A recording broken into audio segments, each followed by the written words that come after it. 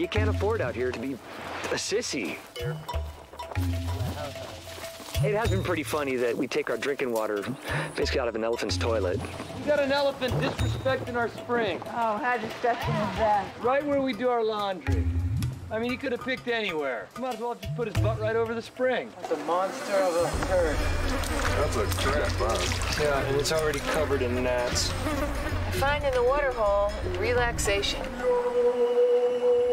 Love this spot. We come here all the time. And today we were visited by someone just prior to our getting here that left us a big giant gift. It's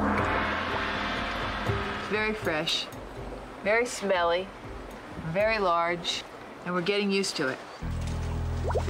You gotta drink and you gotta pull your water and you gotta you gotta wash. But God, holy mackerel, that that elephant he couldn't have picked a better spot to uh, to relieve himself, and it looked like he hadn't done his business in a couple weeks.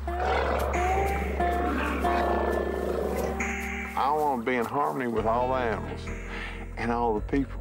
It's, that's hard to do, especially here down to the end. I wondered if you drowned yourself. Now you're so quiet. I'm in deep thought. Kim Johnson washes in elephants every day.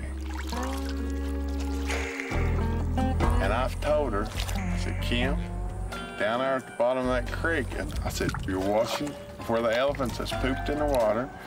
You're washing in that, washing your clothes, washing your face, washing your hind end. She has yet to understand that, and I've quit telling her, and I let her wash in it every day.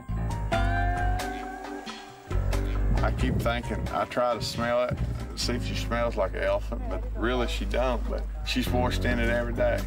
And I, I quit telling her. Okay. One foot in front of the other.